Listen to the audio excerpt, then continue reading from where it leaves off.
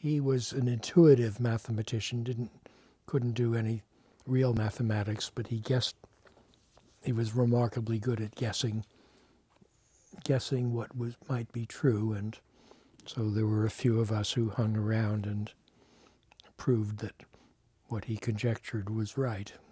But uh,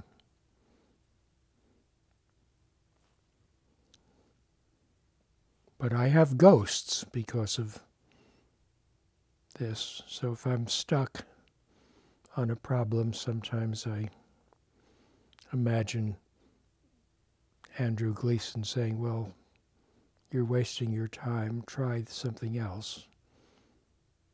Or I have the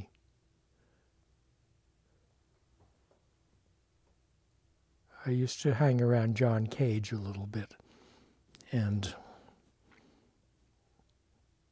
he's one of my ghosts. I didn't know him that well, but if I'm doing something, he's saying that's too pretentious. and sometimes I have the voice of McCulloch saying, you should, you should make that more grand. It's really show why it's important.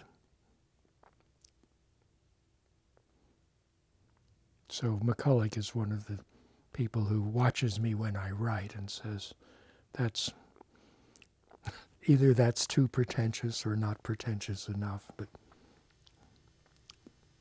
do you have people like that? I think I sometimes say it's a joke between me and my friend Vitek. We he he made this up, which was what would Feynman do? Exactly.